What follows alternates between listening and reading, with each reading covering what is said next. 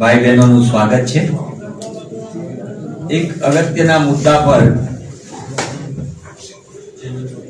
સરકાર દ્વારા કઈ રીતે સુનિયોજિત રીતે અબજો રૂપિયાની જમીનને બારોબાર કઈ રીતે સગે વગે કરવામાં આવે, આખું રાજ્યનું ઘણા બધા કૌભાંડ પૈકીનું એક મોટું કૌભાંડ અંગે ગુજરાત પ્રદેશ કોંગ્રેસ સમિતિના પૂર્વ પ્રમુખ સન્માનીય અર્જુનભાઈ મોઢવાડિયા આપની સાથે વાતચીત કરશે. હું વિનંતી કરું માનનીય અર્જુનભાઈ મોઢવાડિયા સાહેબ. થોડા વખત પહેલા જ વિધાનસભામાં એક નવો કાયદો, લેન્ડ ગ્રેબિંગ એક્ટ પસાર કરવામાં આવ્યો. અને આ કાનૂન હેઠળ સરકારી કે ખાનગી જમીન જે દબાણ કરતા હોય, એના ઉપર લેન્ડ ગ્રેબિંગ એક્ટ લગાડીને દસ વર્ષની સજાને પાત્ર ગુનો બનાવ્યો. એટલું જ નહીં, એ જમીનની ઉપર જેટલા વર્ષ એમણે દબાણ કર્યું હોય, તો એનું ભાડું વસૂલવાનું. એ ઉપરાંત એની જંત્રી કિંમત એમની પાસેથી વસૂલ કરવાની. જમીનનો કબજો પાછો લેવાનો. અને બિનજામીન લાયક ગુના હેઠળ એને જેલમાં ધકેલી દેવા. આ કાયદાનો અમલ શરૂ થયો. નાના નાના લોકોને દબાવવાનું, હેરાસ કરવાનું, ભારતીય જનતા પાર્ટીના આગેવાનોને અનુકૂળ ન હોય એવા લોકોને પરેશાન કરવાનું. આ કાયદા હેઠળ મોટે પાયે શરૂઆત થઈ. પરંતુ એ વખતે માનની મુખ્યમંત્રી શ્રી અને એ વખતના મંત્રીશ્રીઓએ એવી વાત કરી હતી કે હવે અમે ચમરબંધીને નહીં છોડીએ. હવે ચમરબંધી ગુજરાતમાં કોણ છે? અને લેન્ડ માફિયા કોણ છે? એની ભારતીય જનતા પાર્ટી વ્યાખ્યા આપી. કારણ કે અત્યારે તો જે ચમરબંધી કહેવાય એ પચાસ સો વારનો પ્લોટ ઉપર પોતાનું રહેઠાણ ઝૂંપડું બનાવ્યું હોય એને પકડે છે. અને એ પણ ભૂમાફિયાઓને ઈશારે પકડાય છે, અથવા તો ભાજપના આગેવાનોને ઈશારે પકડાય છે. અને એના નામની ધમકીઓ પણ અપાય છે. અને કોર્ટે વચ્ચે પણ પડવું પડે છે. પરંતુ ખરેખર આ ભૂમાફિયા અને ચમરબંધી છે, એ સુરતની હજીરા ખાતેની Arcelor Mittal Nippon Steel company એ છે અને બંનેના માલિકો વિદેશના છે. પચાસ પચાસ ટકા ભાગીદારી છે. એમાં લક્ષ્મી મિત્તલની જે આર્સેલર મિત્તલ કંપની છે, એ લંડન બેઝ છે. અને નિપોન સ્ટીલ છે જપાનનું છે. વડાપ્રધાન અને ભારતીય જનતા પાર્ટીને આવા ઉદ્યોગપતિઓ કેવા વાલા લાગે છે? કે એના માટે વડાપ્રધાન અને મુખ્યમંત્રી શ્રી રેડ કાર્પેટ પાથરીને મળે છે. પાર્સલની હું આજે વાત કરવા જઈ રહ્યો છું, તમારે બધાની સમક્ષ. એમાં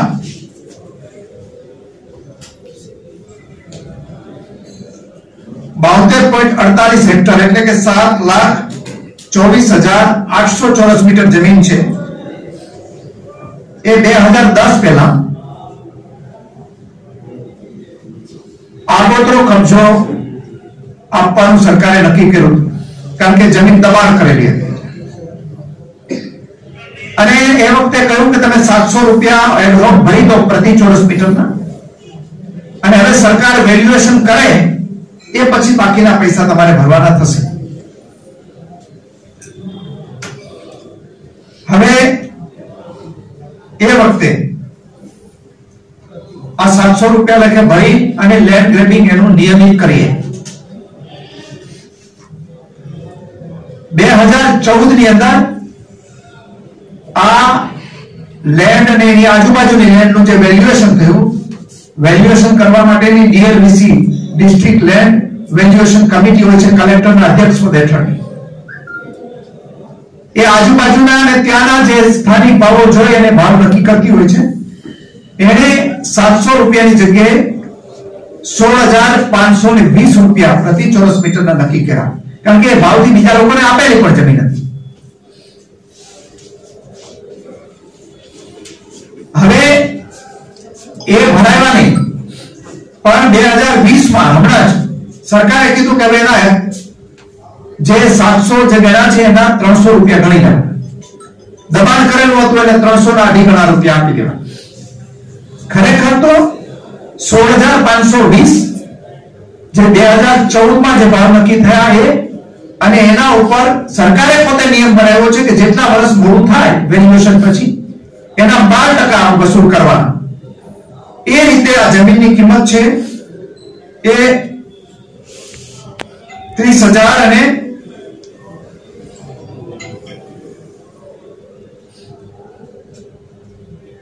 ત્રીસ હજાર ત્રણસો ને ત્રીસ જેટલી થાય છે અને એની વેલ્યુએશન છે. અને એના અધિકારના ભરવાના આવે. એટલે પાંચ હજાર એકસો ને ચુમ્મોતેર રૂપિયા કરોડ રૂપિયા આપવાના થાય એની જગ્યાએ સરકાર છે માત્ર ને માત્ર એકસો ને એકાસી રૂપિયા લેવા, એકસો એકાસી કરોડ વસૂલવા માંગે છે. એટલે ચાર હજાર નવસો ને ત્રાણું કરોડ રૂપિયાનો ફાયદો આ બાવતેર પોઈન્ટ અડતાલીસ હેક્ટર જમીનમાં રાજ્ય સરકાર સીધો આપવા માંગે છે રેગ્યુલરાઇઝ કરીને. આ પણ દબાણ વાળી જમીન છે.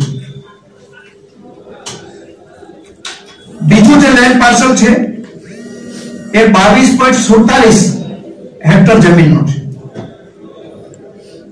આ જમીન નાની સહકારી મંડળીઓને અપાયેલી. શરત બંધ કરતા આ જમીન છે એ રાજ્ય સરકારે શ્રી સરકાર કરેલું અને મંડળીઓ પાસેથી કબજો લઈ લીધો. આ જમીન ઉપર પણ એમએનએસે વર્ષોથી દબાણ કરેલું છે.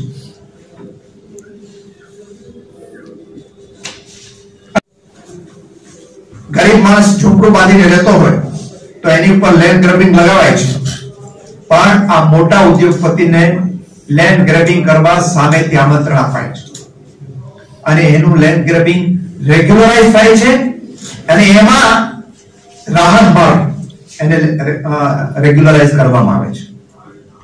અમારી માંગણી છે કે આ એમએનએસ ના જે કૌભાંડ છે. એમાં કોણ કોણ સંડાવાયેલા છે? કયા અધિકારી ને કયા મંત્રી ને કયા મુખ્યમંત્રી અને ભાજપના કયા પદાધિકારીમાં સંડોવાયેલા છે? એનો હાઈકોર્ટના સિટિંગ જજ મારફત તપાસ કરવામાં આવે. અને આ એમએનએસ ઉપર લેન્ડ ગ્રેબિંગ એક્ટ લગાવીને એને જે નિયમ મુજબના નાણાં જેટલા જમીનના છે એ વસૂલવામાં આવે. અત્યાર સુધીનું ભાડું નુકસાની આજુબાજુમાં આ બધી જ બાબતની તપાસ કરવામાં આવે એવી અમારી માગણી છે. અને આ બાબતે રાજ્ય સરકાર પણ વ્હાઇટ પેપર બહાર પાડે અને સત્ય હકીકત સામે લઈ અને આ બાબતે આજુબાજુના લોકોએ પણ આ ગ્રેવિક કૌભાંડ માટે અમારા ધારાસભ્યોએ પણ ત્યાં આપણે જે કલેક્ટરની અધ્યક્ષ પદ હેઠળની સંકલન સમિતિમાં છે, એમાં વારંવાર ઉઠાવ્યો છે અને આગામી વિધાનસભામાં પણ અમે આ મુદ્દાઓ ઉઠાવીશું. થેન્ક યુ રાજ્ય સરકારને હજી સુધી એક રૂપિયો આપ્યો નથી. દબાણ ચાલુ છે. અને હવે એમ કે છે કે અમે તો મંડળીઓ સાથે પસ્તાવટ કરેલી છે, તમને પૈસા આપીએ નહીં. હકીકતે દબાણ સહિતના આના પૈસા વસૂલવાના થાય સત્તરસો ને સાત પોઈન્ટ પંચાવન કરોડ. સત્તરસો સાત પોઈન્ટ પંચાવન પણ એક રૂપિયો સરકારને આપવા દેવા માંગતી નથી. આજે આ જમીન ઉપર દબાણ ચાલુ છે. આ બે દબાણની વાત થઈ ત્રીજી જમીન એને માગણી કરી છે એકસો બાવન પોઈન્ટ એસી હેક્ટર જમીન. નવી જમીનની માગણી કરી છે. એને એમ કહ્યું છે કે અમારે એક્સપાન્શન કરવું છે એટલે અમારે જમીનની જરૂર છે. સરકારી કર્મચારીઓની જમીન જોતી હોય, તો એમાં રાહત નહીં. શૈક્ષણિક સંસ્થાઓને જમીન જોતી હોય, તો એમાં કોઈ રાહત નહીં.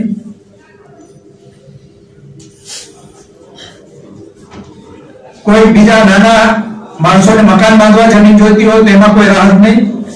પણ રાજ્ય સરકારે આ એકસો ને બાવન પોઈન્ટ એસી હેક્ટર જમીન, એટલે પંદર લાખ અઠાવીસ હજાર, કેટલી? પંદર લાખ અઠાવીસ હજાર ચોરસ મીટર જમીન છે.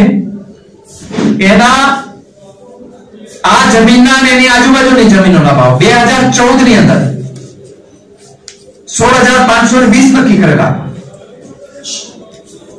બે હજાર ચૌદમાં એટલે એનું બાર ટકા ક્રમિક વધારો ગણીએ તો ત્રીસ ત્રીસ હજાર ત્રણસો ને સત્તાણું થાય. એની જગ્યાએ બે હજાર વીસમાં આ ચૌદ હજાર સોરી સોળ હજાર પાંચસો ને વીસની જગ્યાએ એમણે આઠ હજાર ચારસો ને એકોતેર એટલે અડધો ભાવ કરી આપ્યો. બે હજાર ચૌદ કરતા બે હજાર વીસમાં અડધો ભાવ કરી આ તો મૂલ્યાંકન કરું છું, એનો તો ક્રમિક વધારો ગણીએ તો ત્રીસ હજાર ત્રણસો ને સત્તાણું થાય. એમાં આ જમીનની અંદર આટલો ભાવ ઘટાડો કરી અને ત્રણ હજાર ત્રણસો ને પચાસ પોઈન્ટ છાસઠ કરોડનો ફાયદો આ એમએનએસ ને ભારતીય જનતા પાર્ટીની સરકાર આપવા માંગે છે. જે ફાઇલો વર્ષોથી દબાયેલી હતી લેન્ડ ગ્રેબિંગ એક્ટ લાગ્યા હતા, ફરિયાદો થઈ હતી, અમુક અમુક જગ્યાએ તો. છતાં એની સામે કોઈ કાર્યવાહી ન કરી, અને હવે આ બધું જ રેગ્યુલર કરી કરી દેવાનું. જે ચમરબંધી છે, જે લેન્ડ ગ્રેબર છે, એને બીપીએલની યાદીમાં સમાવી અને જેટલો ફાયદો થા કરી શકાય, એટલો ફાયદો આ જે મોટા ઉદ્યોગપતિ, વિશ્વના મોટા ઉદ્યોગપતિ છે, એને ફાયદો કરાવવા જઈ રહી છે. આ ત્રણેય લેન્ડ પાર્સલ એક સાથે ગણીએ તો એનો જે આપણે ફાયદો છે એમએનએસ ને કેટલો થાય છે? નવ હજાર આઠસો ને એકસાઠ પોઈન્ટ ચિમ્મોતેર કરોડ. નવ હજાર આઠસો એકસાઠ પોઈન્ટ ચિમ્મોતેર કરોડ. આટલો ફાયદો આ એક જ કંપનીને આપવામાં આવે છે. લેબ કૌભાંડની પરંપરા અને પેપર કૌભાંડની પરંપરા આ રાજ્યની યુએસપી છે. અમે બે હજાર બારની અંદર પણ રાષ્ટ્રપતિને આવેદન પત્ર આપ્યું હતું કે બાવીસ કૌભાંડની અંદર એક લાખ કરોડ રૂપિયાનો ભ્રષ્ટાચાર થયો છે. અને મોદી સાહેબે વખતે ડરી જઈને એક શાહ કમિશન રાતોરાત બદલાવી એમબી શાહ કમિશન નિમેલું. અને એમાં કોઈને સાંભળવાની પણ મનાઈ કરી દીધી એ શાહ કમિશન. અને એમ કહેવાય છે કે એમાં ક્લીન ચીટ આપી, શું ચીટ આપી મને તો ખબર નથી. પણ આ આ જ પ્રકારનું આ કૌભાંડ એના કરતા મોટું એક જ કંપનીને નવ હજાર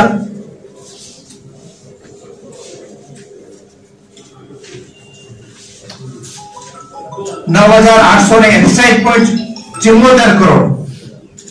નું કૌભાંડ, સીધો ફાયદો કરાવતું. આ